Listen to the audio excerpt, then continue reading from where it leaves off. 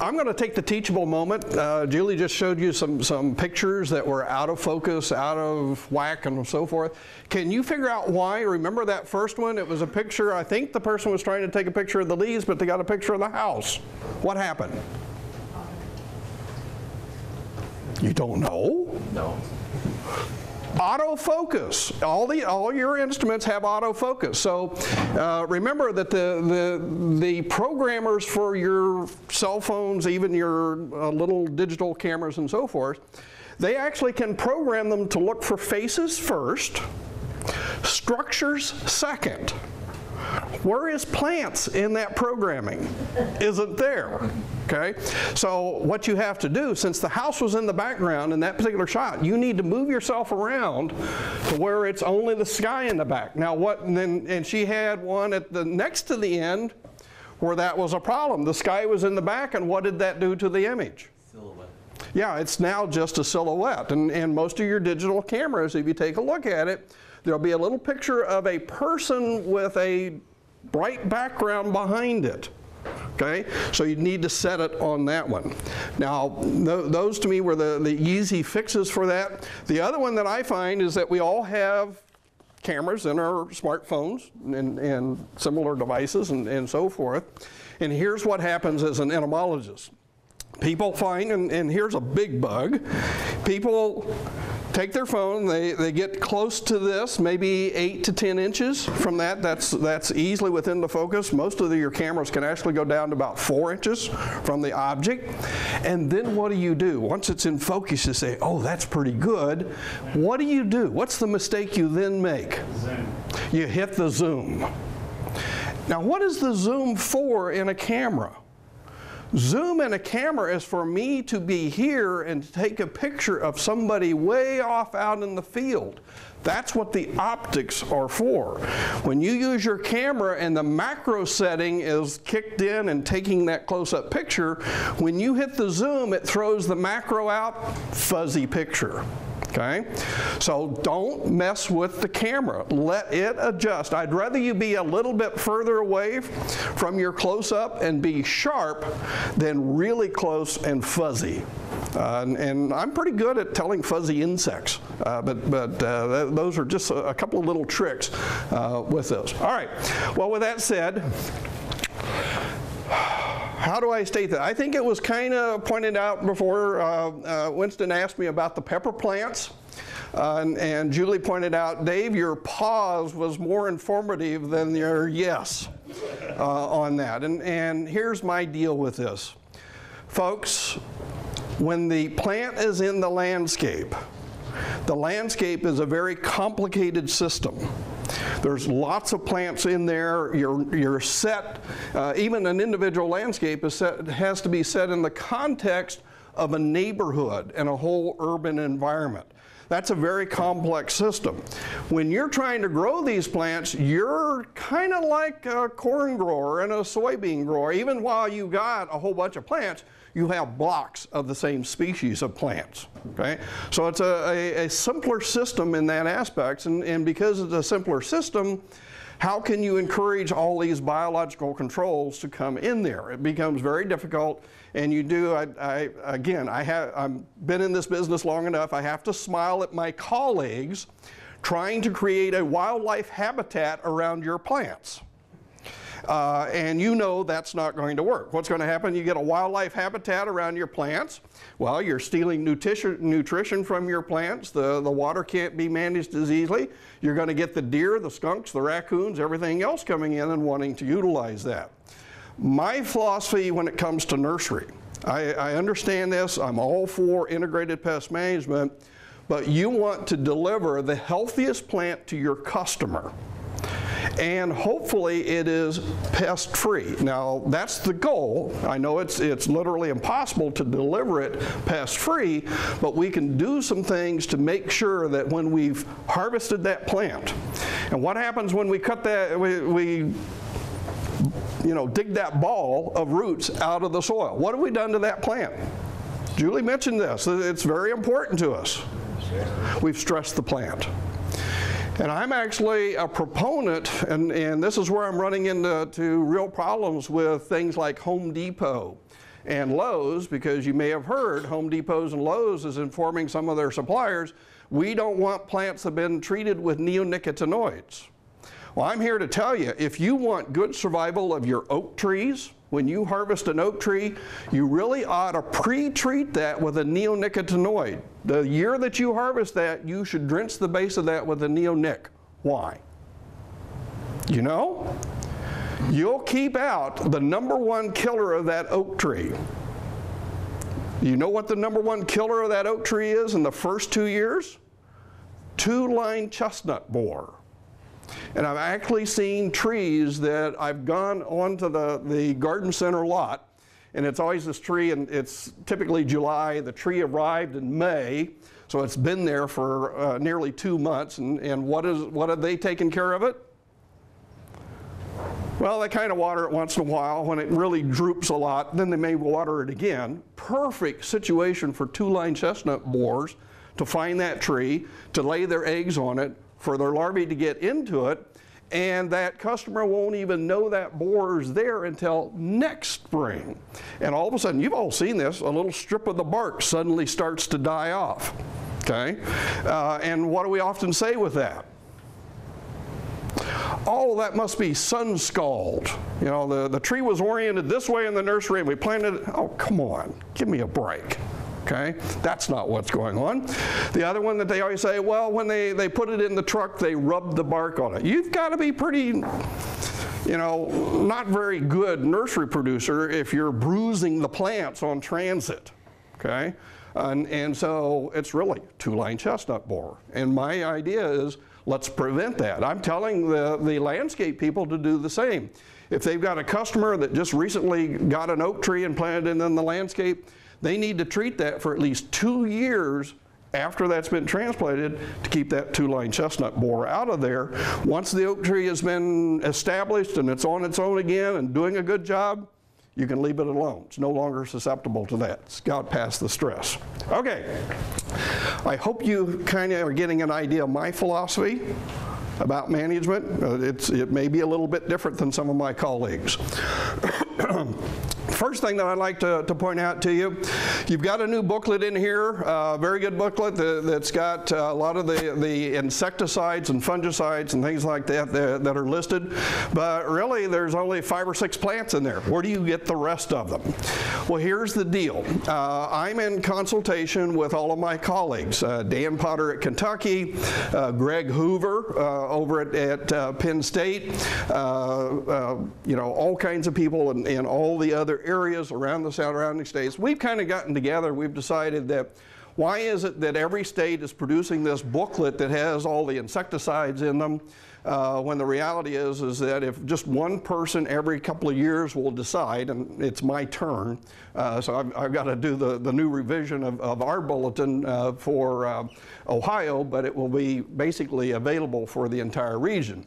What I wanted you to point, uh, notice is that the latest one of these, and again, this is getting it to, to be a little bit dated right now, uh, but the, the one that, that's got the most up to date of the insecticides that are registered for both landscape and nursery usage is this uh, AGRS 025. Again, if you, if you can't remember that, just go to Penn State or put in Google Penn State Bulletin AGRS 025, or if you just say Penn State Woody Ornamental Bulletin, this will pop up. What's the beauty of this is that the first thing that pops up is that they'll be more than glad to send this to you for about 30 bucks.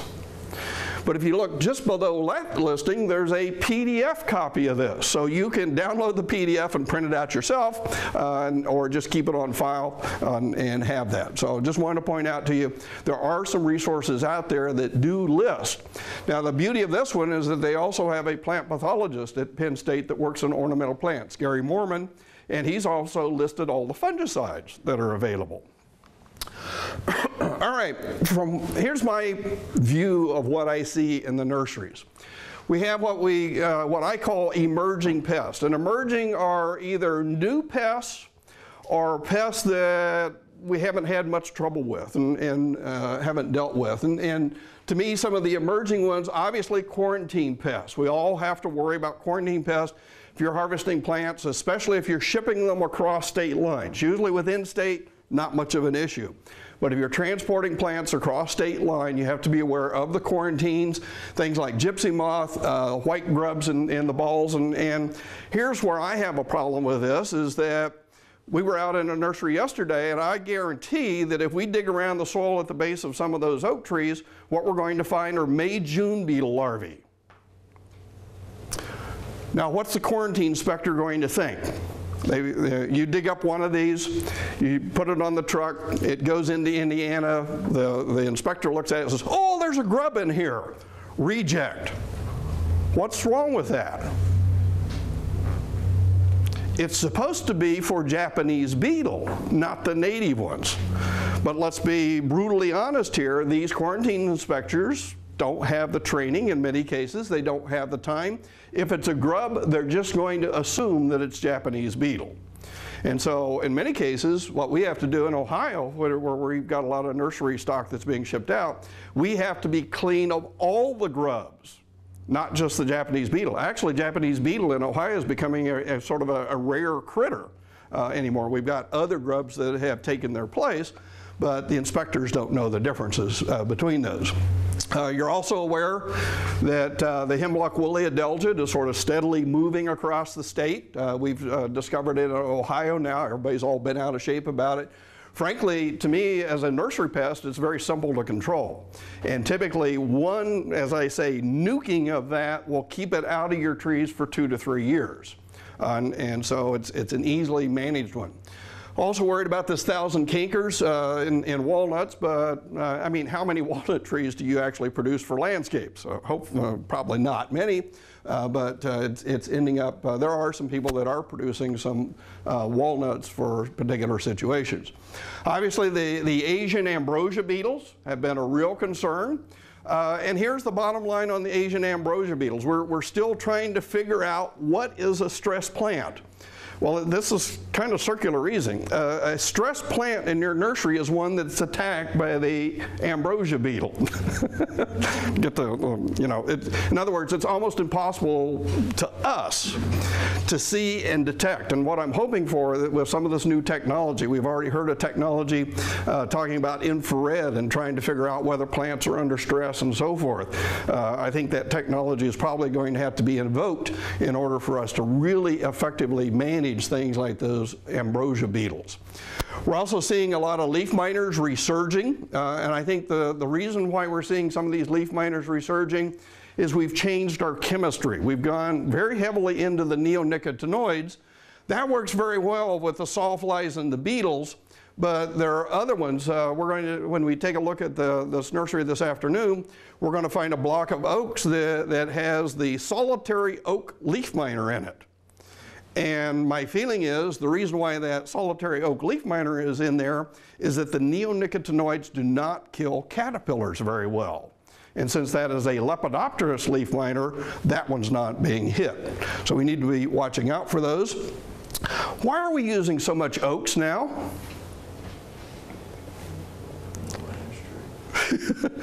What's happened? Ash trees. You know, we, we have to find replacements for the different trees that we're losing, uh, losing.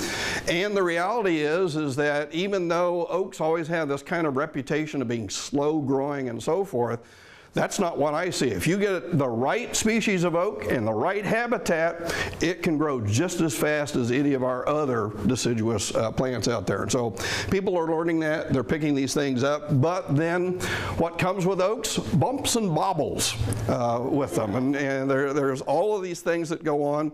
And here's the issue that you have as a nursery producer juvenile trees often get these galls more than the mature trees. And so you're left with a, you know, you, you've got a customer that wants to buy the tree and they say, oh my God, look, it's got all these bumps and bobbles and, and goofy things all over it. Yeah, it's a juvenile. It's, it's like zits on their face. That's what they get, okay? Hopefully when they grow up, they won't have these. And, and the only one that I get really worried about, however, is the gouty oak gall. That is one that is detrimental. That is one that can actually cause slowing of growth and some dieback of the plants. But the, the rest of these are really, as, as Julie indicated before, cosmetic. Uh, and, and they're things that, in essence, as the tree matures, should disappear. Well, how do you discover white grubs? Well, what I find is a lot of people discover white grubs by letting the animals show where they're at. I call them land shrimp. Uh, and obviously skunks and raccoons like to, to eat them and, and uh, where they find them, uh, they're, they're pretty evident out there. The problem that we got with these is that how am I going to control these in a nursery situation? And, and here's my deal with this. White grubs are not really an issue in the growth of your plants during the growth phase. But if you're in that quarantine area, what I would strongly suggest is you, you probably need to treat those plants in the blocks that you, plant to, uh, you plan to harvest the next year and transport across state lines so that you, you avoid the quarantine. There's a lot of insecticides that, that, are out there. The cheapest one right now are generic imidacloprids. Now in the past, when Bayer had this, uh, it was really, really tough for you to get imidacloprid at a decent rate. And I know there were some nursery producers that went out and got uh, field crop imidacloprid and applied it in, in their uh, their strips between there, you know, to manage the strips, wink, wink, wink, uh, and, and keep the grubs out of that. But the reality is, is you can now get some generic imidacloprid at around probably 35 to $40 an acre uh, that can be used in, in, your nursery stock. And again, when should you apply it? Well, if you take a look at the, these, uh, applications in May, that's not very good. You're going to get, uh, you know, only 80% reduction. That means 20% of the grubs are going to be there. That probably means an inspector is going to find one. And so what you really want to get is, is in that 90 percentile. What's the best chance for the 90 percentile? As you can see here, if you center in on the month of July as being the, the treatment for this. Now think about this. This requires pre-planning. I'm going to treat my plot in July for the trees that I plan to harvest next winter and next spring. So that's what I'm talking about the pre-planning. You can't wait until next spring to treat them because you're going to be out of the window of good grub control. And so this is one of those things you need to plan ahead in order to accomplish that task. I'm not going to spend a lot of time. Uh, my feeling is, is this walnut twig beetle is, is um, uh, lining the pockets of some researchers. Uh, it's, it's, probably important uh, that, that, we do some research on this, but I'm beginning after seeing what's going on in, in terms of the uh, uh, monitoring and detection of this. I think this disease and I think this insect has been here for a long time. And it's only when we have trees that are under stress uh, that, that both of these working together can take the trees out. Where this really caused a problem is that this beetle and the disease got into the western states. And there it has devastated all the walnut species and, and completely taken them out. So we're, we're really concerned about that. Uh, the, the states that we're worried about are out in here. This is where it's really taken out, uh, especially the, the uh, European walnut production areas in here. They're really worried about losing those. Uh, as you can see here, we have detected this in here where there's blanks that usually means that we really haven't looked that closely. I find it kind of interesting. Why would we find it here and here but not in between? Uh, it usually means that, that we need to, to, be looking closer. Julie, have, have, you actually, have you detected this yet in, in Kentucky? Okay. Uh, I think it's here. okay. Uh, just to point out, uh, because of this uh, has come out, uh, there's been some new fact sheets and bulletins that have been created for these, and, and most of these are, are pretty good, at least of describing what this thing looks like and how to detect it. We still don't really understand uh, a good uh, things for, for management of that one. Okay, I'm going to move in uh, some of the other invasives uh, you need to be aware of, the hemlock woolly adelgid. And here's the deal with the hemlock woolly adelgid. Ohio has had at least five or six hemlock woolly adelgid detections over the last decade. Where did they come from? Does anybody know? They were generally on new plantings of hemlocks, generally purchased from places like Pennsylvania and New York, where these were native, they, they had become firmly established and there had come in. Since they were new plantings, plants were under stress. What's going to happen? These insects are going to have their way, and all of a sudden the, the homeowners were saying, you know, the hemlock that you planted last year, they're beginning to uh, they're lose some needles, turning a little brown, and they got these funny little cotton balls all over them. What's going on? Uh, and typically what would happen, landscape managers or garden center people would find them, they would notify us, uh, the, the government folks would de- descend on these poor folks and say, we're going to remove all of your trees. Well, the reality is, uh, here's what it looks like uh, up close if you've not seen this uh, uh critter. The reality is, is the natural front for this uh, continues to be moving west. Uh, as you, you can see, you've got a pretty good endemic population down here in, in the southeastern part of, of Kentucky. it has moved over into Ohio, and it, we figure wherever this green is will probably be the normal range for this. This is an invasive insect. And as far as I'm concerned, the big deal about this is that there shouldn't really be a big deal in managed landscapes and in the nursery. And the reason for that is that it's very easily controlled, has a fairly complicated life cycle, but basically, if we apply a neonicotinoid as a soil drench right when the eggs hatch, we can completely zero this out on an individual tree.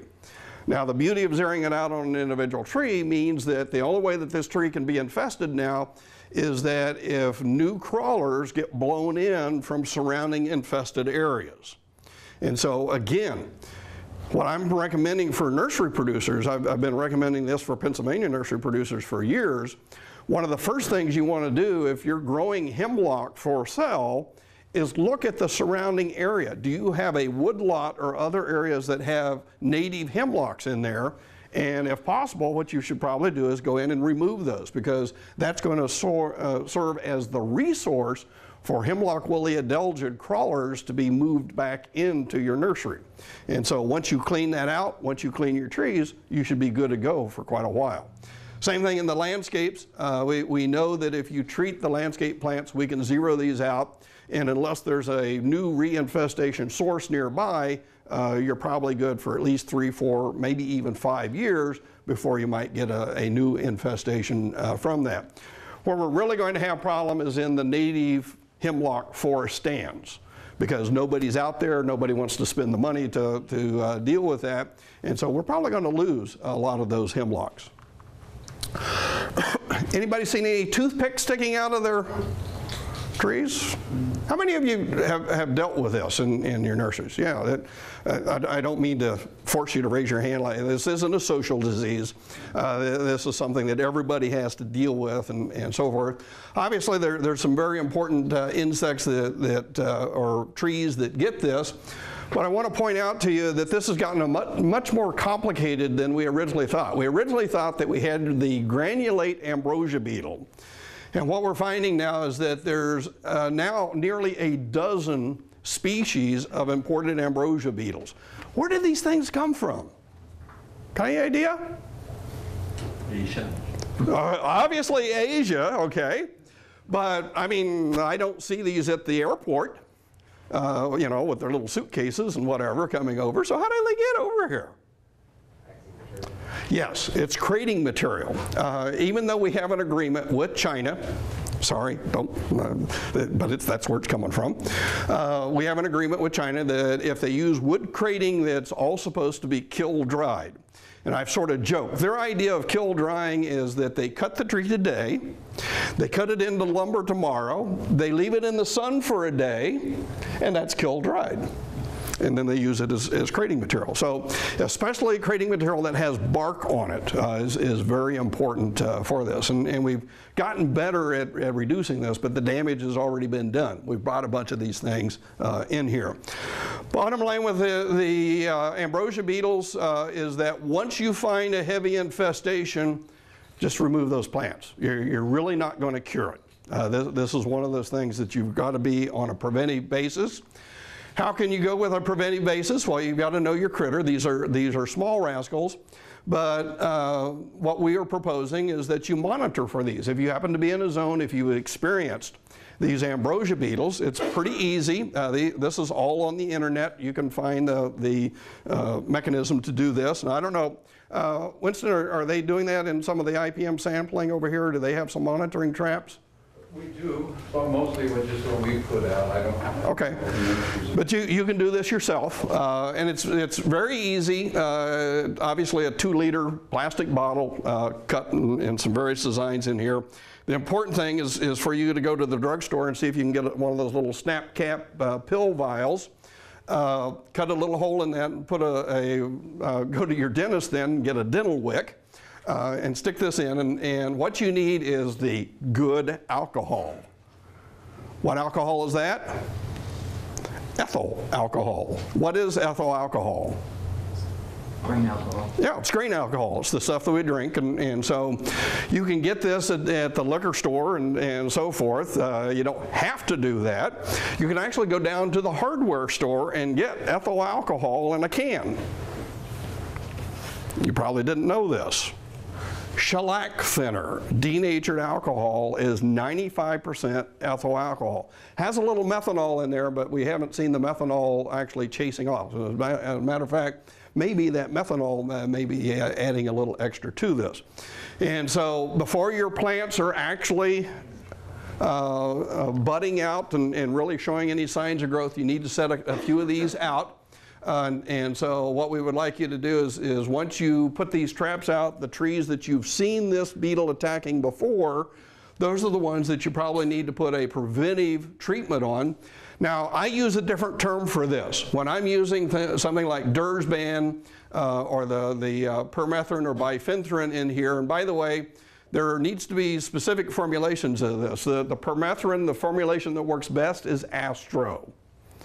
The formulation of bifenthrin that works best is Onyx or Onyx Pro. What's the difference between those and generics? Uh, it's the spreader sticker that's been added to the formulation to keep this material on the bark. The term that I prefer to use here instead of preventive is prophylactic treatment. Hopefully that sets up a mental image of what we're trying to do. What are we trying to do? We're trying to put a protective condom of insecticide on the bark of the tree so that when the beetle lands on that tree, it's smelling the alcohols and volatiles off of this tree. When they land on there and they have to chew through that bark, if I've got that infused with one of these insecticides, boom, it's dead. It's going to take off, okay? So that, that's what we need to, to do. Again, uh, even with, uh, with these uh, increased formulations, uh, remember we're typically in a season of the year where we've got fairly frequent rainfall. Probably going to need to make those applications every two weeks. Uh, until you're no longer getting the beetles in your trap. And that's usually for most of the area that uh, I work in, uh, two and sometimes three applications to get you through that window. Any questions on those? Okay. What are those brand names again? Pardon? Uh, Astro is the permethrin, and Onyx is the bifenthrin. Moving into some of the other critters, uh, uh, moving into the, the leaf miners that I talked about, uh, I find it interesting. I've found less and less and less birch leaf miner uh, out there, but I'm seeing more and more and more of other types of leaf miners. Now, uh, in those sawfly leaf miners, and I apologize for, for not having the images uh, for these, the other sawfly leaf miner that we're seeing real significant increases in populations are the hawthorn leaf miners. Uh, those again, remember, are sawfly leaf miners, and it's important to remember that they're sawfly leaf miners. How many of you are growing the new hybrid elms? Yeah, okay. Um, uh, my feeling is, is the people that developed the new hybrid elms, great and wonderful. They're very disease re resistant and, and uh, uh, counteract that, but they didn't look for the bugs on these, and, and they're really bug food. Uh, and and uh, one of the, the critters that they get in there is the elm leaf which is another sawfly. Uh, and what's the beauty of those is that the birch leaf miner, the hawthorn leaf miner, and the elm leaf miner, all being sawflies, are very easily taken care of, again, with those neonicotinoids. the boxwood leaf miner, on the other hand, now you saw a picture that looked just like that from Julie. What does that look like? Well, I can tell them. Yeah, it looked like the, the boxwood blight in, in there. And, and uh, Uh, so how are you going to tell the difference between these? Well, in this particular case, you can tell the difference between these because if you look at the backs of the leaves, what you'll find if right, right now is those blisters. If you look at these in the springtime when this normally really begins to appear, if you take a look at the leaves and peel back the undersurface of the epidermis, you'll find both the larvae and the pupae of the boxwood leaf miner in there. And here, but here's my problem is I find both the disease and the leaf miners in the same plant.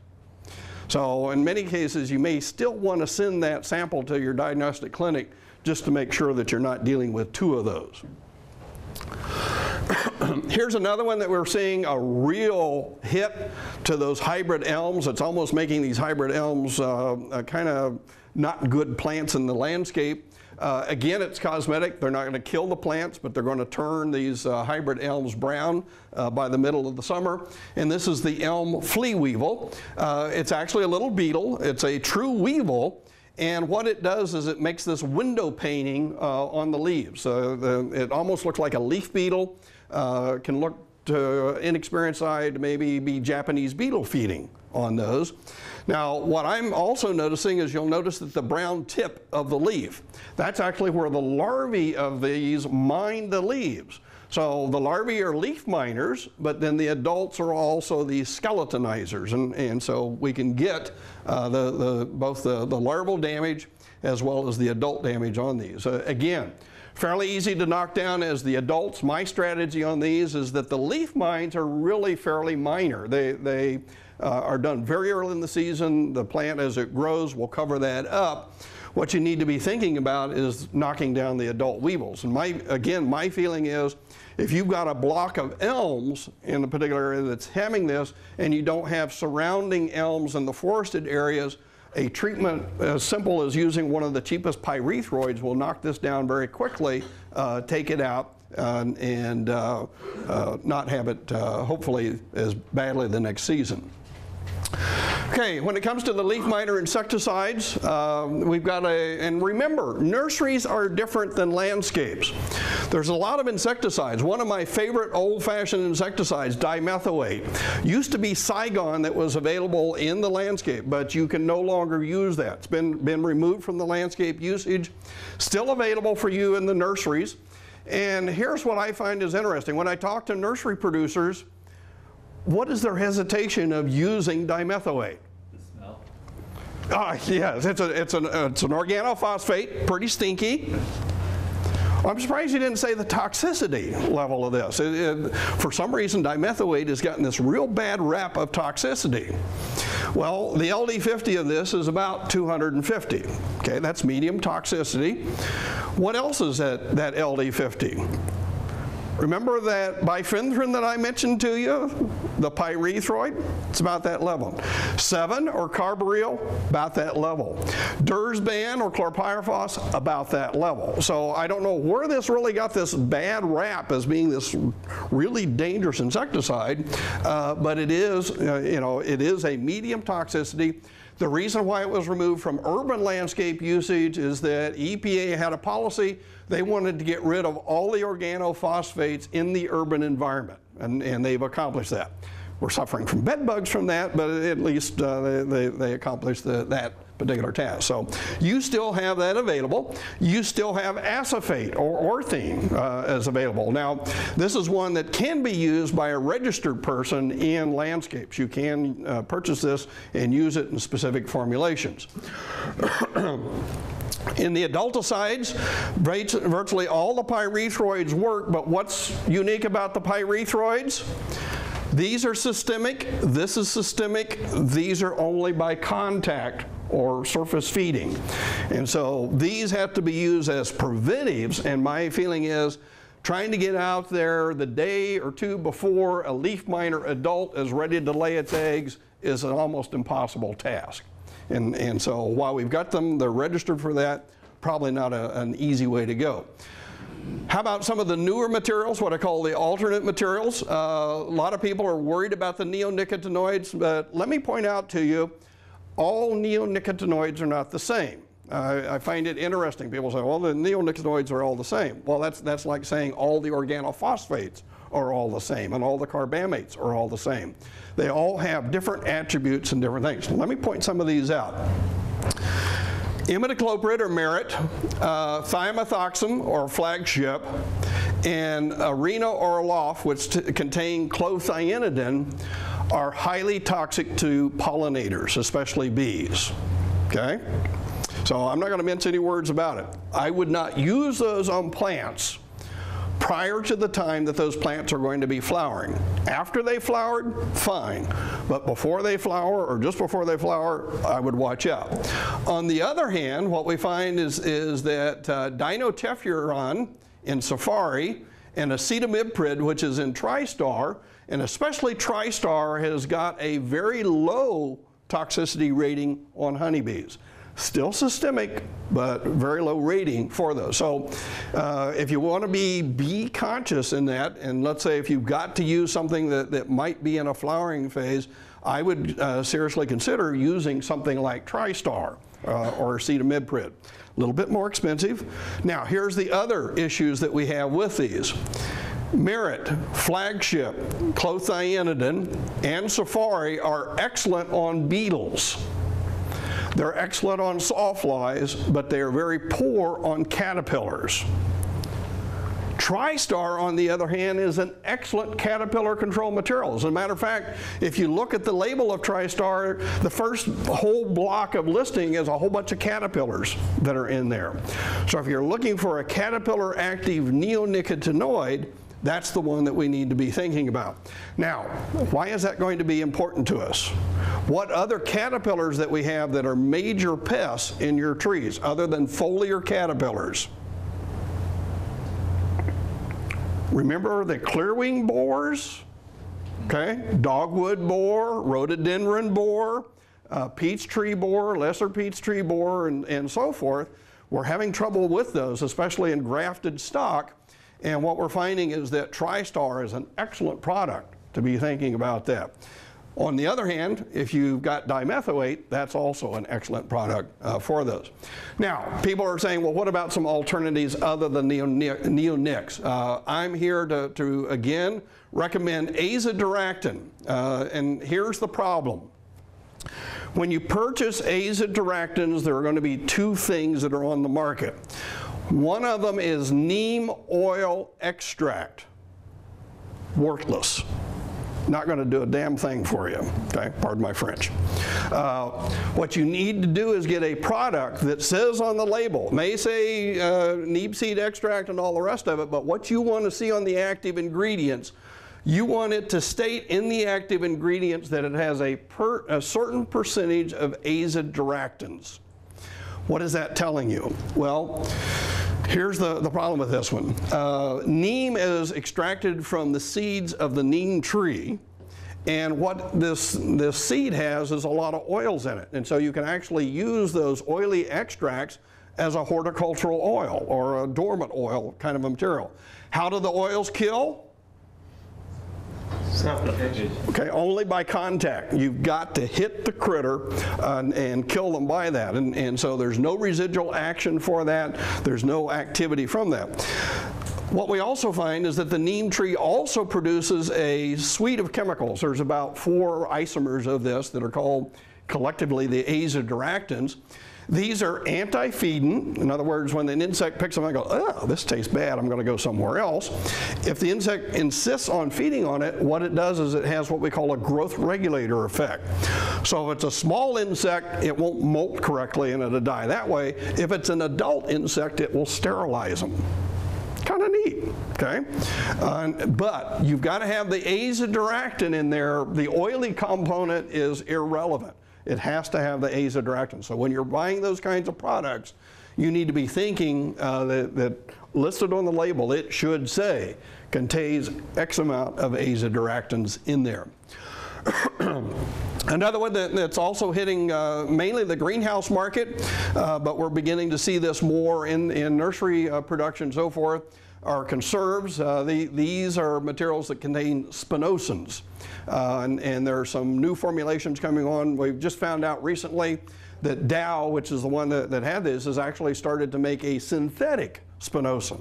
Uh, and obviously has more activity and, and so forth. This is a, uh, a bio-based, both of these are bio-based. Neem is, is a plant extract. This conserve is a microbial byproduct. In other words, they ferment up uh, 100,000 gallon tanks of, of this uh, soil-dwelling uh, microbe, uh, and then they skim off the top of that, refine it, and they come out with these spinosads which in this particular case are very good for fly control and for moth control. Now what's missing in there? Beetles. Not very good on, on beetles in this particular case.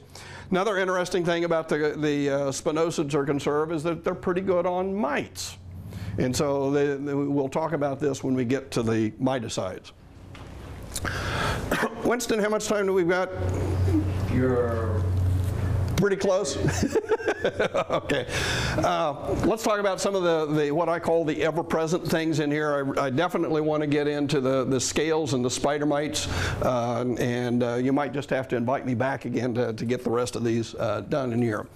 When it comes to the scales, remember that uh, uh, life is fairly simple if you just keep this in mind that in the scale world, generally we have what we call soft scales and armored scales. The big difference between those is that the soft scales always have their nymphs and even the adults uncovered. What does that mean? That means that soaps and oils are your friend in this particular case. Uh, and, and horticultural oils, even in the summertime on most plants, are not a, a, a real issue in phytotoxicity. And where, where is that coming from? The chemical companies that produce these horticultural oils have learned to take the sulfur out of the oils and also to reduce the, the molecular weight of them. So they hit, they do their activity, they evaporate off of the plant very quickly, and you don't get the chance of penetrating into the plant tissues to cause phytotoxicity.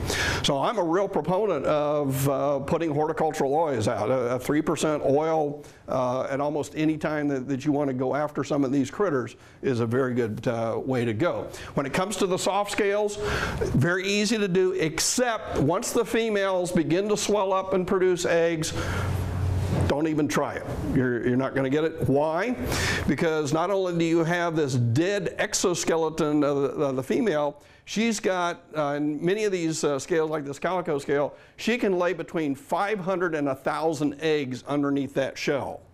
And there's just no way you're going to get oil to penetrate all in through there to contact all of those eggs. What you need to do is to say, oops, going to mark this. I'm going to come back uh, a month later when those crawlers are out on the leaves and then use my oil and take the crawlers out on the leaves. Other ones that we see, uh, we're seeing a, a fair amount uh, in the Ohio increase of the Fletcher scale.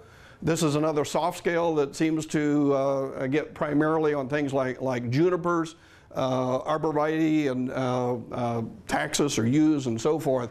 Uh, we're seeing this uh, fairly common out there. Again, uh, a couple of oil treatments usually will work on this one. We also see magnolia scale. Now, what's the difference between magnolia scale and most of the other soft scales?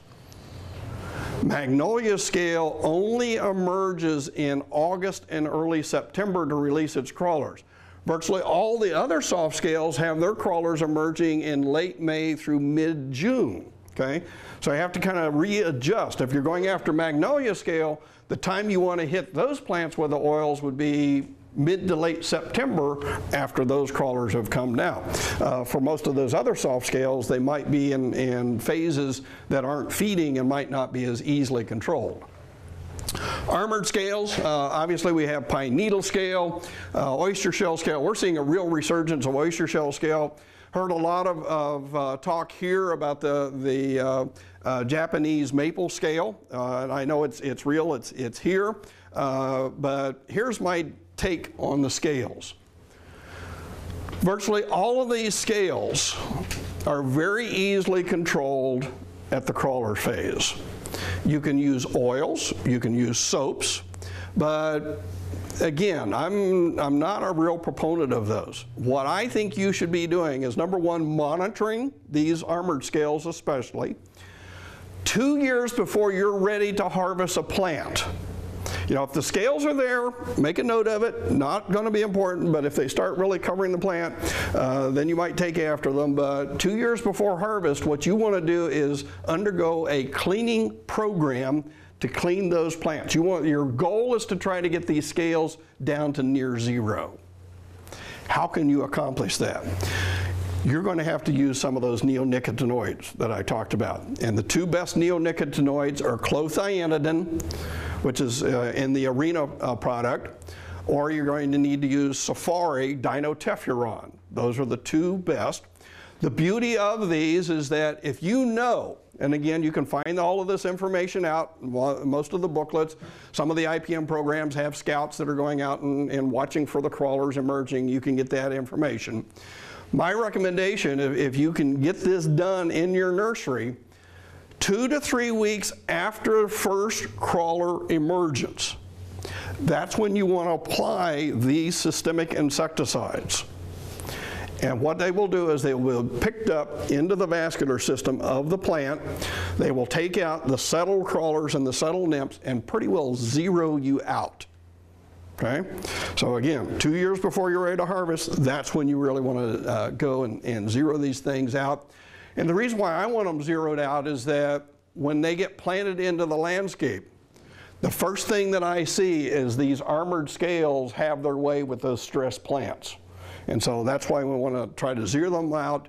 When you're growing them, you're growing them fast, uh, they're, they're, they're healthy and, and all the rest of that, but all hell breaks out if you haven't really sort of zeroed these things out by the time you sell them to the customer and they get into the landscape. On the soft scales, do the ants help protect them? Yes, the ants do protect them. Uh, Dan Potter here at Kentucky had a couple of graduate students that, that have uh, shown some very good data where actually they, they put ant control material at the base of the trees and all of a sudden the soft scales disappeared. And the reason why the soft scales disappear is that they have a whole suite of little parasitic wasps and they've also got things like lady beetle larvae that, that will eat them, but the ants will protect them. They'll chase off the little wasp and they'll nip the lady beetles until they drop off. So uh, there's some neat pictures of that on, on YouTube. when it comes again to the scales, you again have some, some other materials, and if you don't want to use one of these neonicotinoids, remember you still have dimethoate. Dimethoate has been a very powerful scale control material. But again, the time that you want to apply that dimethoate is the time that the crawlers have emerged and recently settled on the plant. And here, I, again, I, I hate to take too much time on this. what we have found for many of the armored scales, once they settle, first instar crawler, they suck juice, they shed their exoskeleton, now they are the second instar nymph. They have to suck juice, they pretty well mature, they shed their exoskeleton again. If they're a bisexual species, meaning males and females, the males come out, mate with the females, and what happens is that once the female has been mated, she often stops feeding and she may stop that feeding for a month, two months, almost for the rest of the season. So what's the, the issue with that? Well, if you're using a systemic insecticide and she's not feeding, nothing's going to happen. So that's why we've changed this idea. Even if you're using a systemic, you want to be in the plant system when that settled crawler, second instar nymph, and the early adults are still feeding in order to take them out. spider mites. The only spider mite you need to be concerned about is two-spotted spider mite. What do two-spotted spider mites eat in your nurseries? Now, I'm not talking about uh, you know the, the bedding plants and perennials and things like that. Your woody tree stock. What do they get into? Have you seen spider mites on maple? That's the maple spider mite. Have you seen spider mites on uh, honey locust? That's a honey locust spider mite. Have you seen any spider mites on viburnum? That's two spotted spider mite. Have you seen spider mites on winged euonymus? That's two-spotted spider mite. And the reason why I want to point out the difference of those, it's only two-spotted spider mite is the issue. And the issue is two-spotted spider mite is a common greenhouse and perennial plant production pest, which means that it's been subjected to virtually every miticide known. And you often are dealing with resistant populations. But when you're dealing with any of these other mites, spruce spider mite, oak spider mite, we're going to see some great oak spider mite uh, activity today, uh, and, and all the rest of these, any miticide that you use, as a matter of fact, my recommendation is again horticultural oils. 2% oil, as long as you can get really good coverage on the foliage of the plant, will take most of these other mites out. And here's the other deal even if it's two spotted spider mite, two spotted spider mite has never developed resistant to oil. Bingo. Okay? So I'm a, I'm a, a, a, when it comes to the miticides, I'm kind of an oil fanatic. The other thing you have to remember are you treating damage or are you treating mites? And this is where I really strongly support the IPM approach is sample first. Make sure that the mites are active because we're going to see damage out in the oak trees today uh, but I saw very few oak spider mites still active. They're, they were probably active last month. They pretty well have shut down for the summer, but their damage is still there.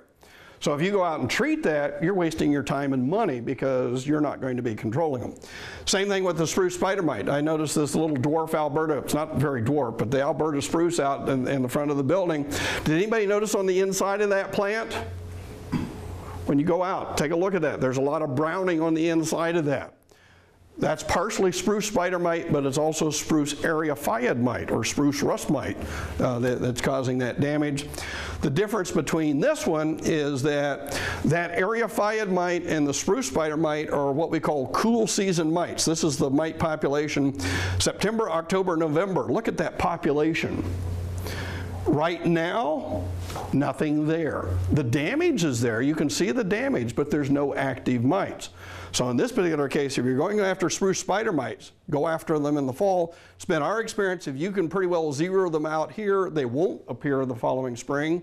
But if you didn't get to them in, uh, in the fall, you can get them in, in May, early June before they shut down for the summer uh, and, and are inactive again. This video has been part of the University of Kentucky Nursery Crops web series. For more information on the topics discussed, please contact your county extension office.